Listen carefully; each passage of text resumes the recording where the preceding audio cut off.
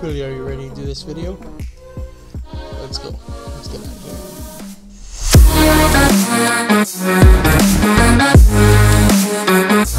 of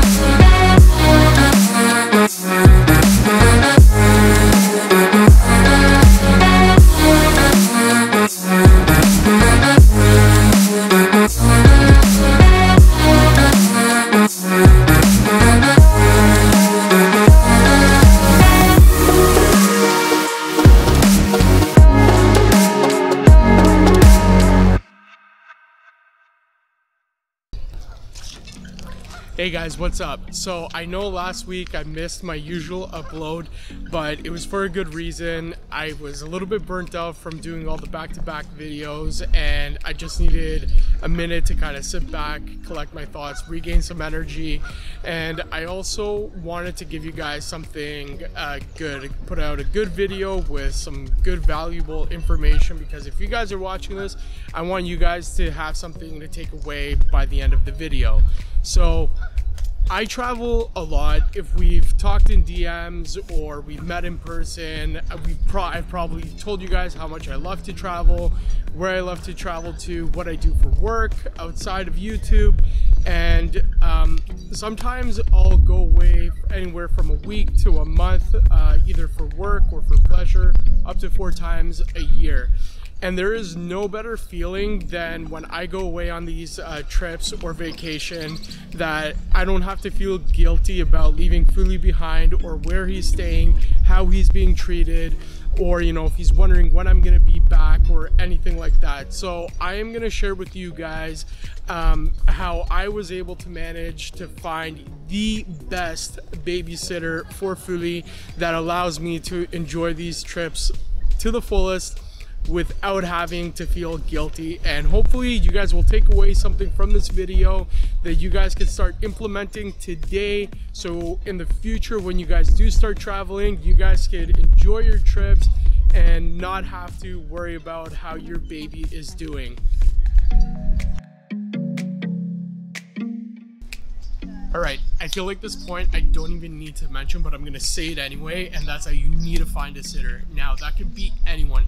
Could be a friend, a family member, a coworker, a neighbor, whoever you want it to be. For me, it's my friend Carly. Um, if you guys are in the My Pawesome Frenchie group, she's the girl with the pink hair. You've probably seen her reply to some of your questions. Um, she is the one that watches out for food while I go on these work trips or I vacation for like a month. Um, I have known her for the last couple of years and you know she's great. I trust her and I'm gonna tell you guys how I was able to build that trust with her in the next point.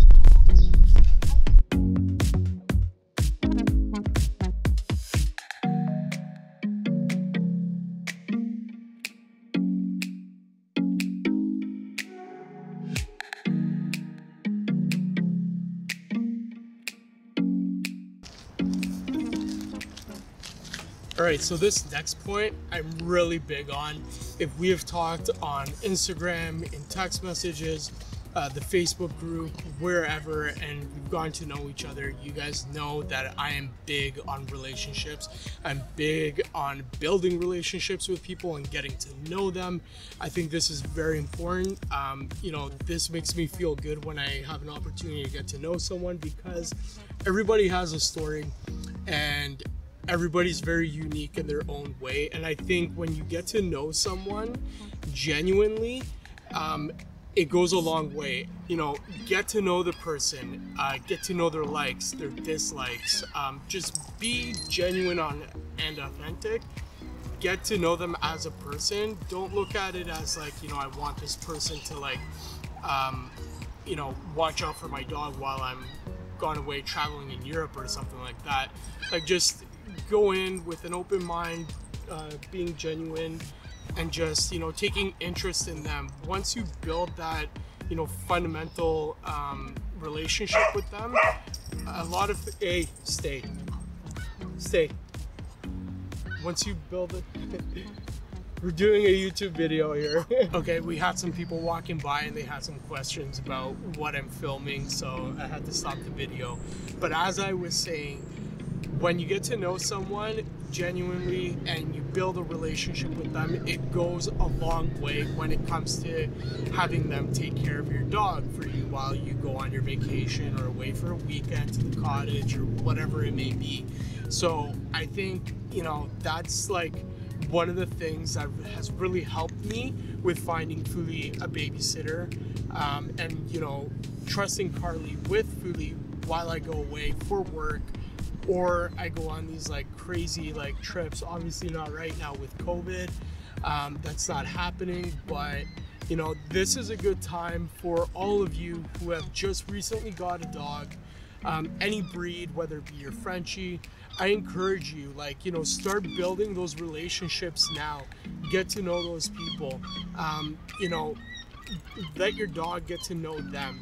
I'm telling you, it's gonna go a long way. It's gonna give you more peace of mind when you do actually go away on your trip.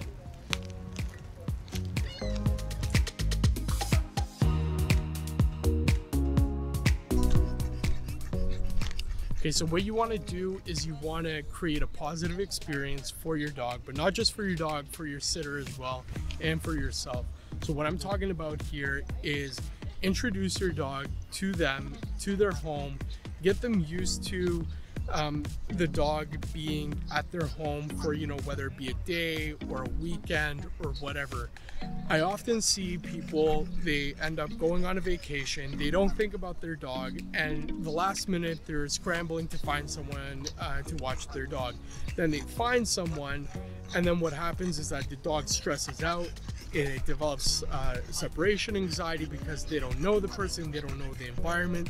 They're left wondering, you know, why and why am I being abandoned? Is my owner going to come back? When are they going to come back? So it just creates a lot of stress for the dog when you just drop them off like that. And it's not a good experience for the sitter either because sometimes what happens with dogs, they react in a way where they'll stop eating, they become destructive, and now your sitter has a bad experience because um, the dog has torn apart their pillows or their shoes or they're not eating or you know they're going to the washroom in the house. So it's a lot easier if you just you know introduce the dog slowly to that new environment to that person. It's gonna really help you because you're gonna have like a sense of relief and confidence in your sitter that they're you know treating your dog properly and you don't have to worry about what's going on with your dog, what they're thinking, you know, do, do they feel abandoned? Are they being taken care of properly? So that goes a long way once you start introducing those steps um, right now. So then when you do end up going on a vacation, it's going to be kind of like, you know, we're going over to my aunts and uncle's house for the weekend and they're going to have a good time it's gonna leave you to just enjoy, you know, your trip. You know, whether I don't know wherever you want to travel to. I like going to Thailand. I love going to Europe. A lot of my trips are to Europe, so you know, I want to be in the moment uh, while I'm on my trip and not having to have this, you know, sense of guilt while I'm away and my dog's, you know, back at home. All right, we need to get this guy some water and he's tripping me out because he's really close to the water. And as you guys know, they do not swim, they sink like rocks. Really, let's go, come. All right, guys, this last tip that I have for you guys is to take care of your sitter. And what I mean by that is compensate them and compensate them well pay them big because they do a lot. I mean, Carly does a lot for me when I go away on these trips. I mean, she takes care of Fuli, she takes away the, the stress of me leaving the dog, and she, you know, sends me pictures of how he's doing. Um, she's on top of it if there's any kind of allergic reaction to the food that he's getting or anything. So, I mean, I take care of her to the best of my ability. I make sure that Timbit is taken care of. I usually get her um, her uh, raw food for the month. So, I mean, it goes a long way when you actually take care of your sitter. You take care of them now, they're gonna be more inclined to take care of your dog the next time you have a work trip. So guys, that's it for today's video. I hope you guys enjoyed it. Um, I hope you guys are able to get out and enjoy the nice weather. I'm really ha happy that things are kind of kind of starting to shape back around to being normal, but it's nice to see everyone out riding their bikes and all that stuff. So And yeah, that's it. Um, guys, if you guys travel a lot, let me know down in the comments because I'm curious. I'm very fortunate enough to be uh, to travel for work, but I'm very curious how many of you guys are actually out there and traveling and seeing the world, and if you guys enjoy it. All right, that's it for today's video, and I'll see you guys in the next one. Peace. My trip so much more enjoyable when I could, you know, just be in the moment. And I have this idiot right now screaming God knows what behind me, and I was really trying to focus. I wish I could just swim out there and flip him over in his stupid blow up freaking boat. I really hope his boat sinks. Like, I I know that's bad to say, but I God hope it does. And this idiot is still yelling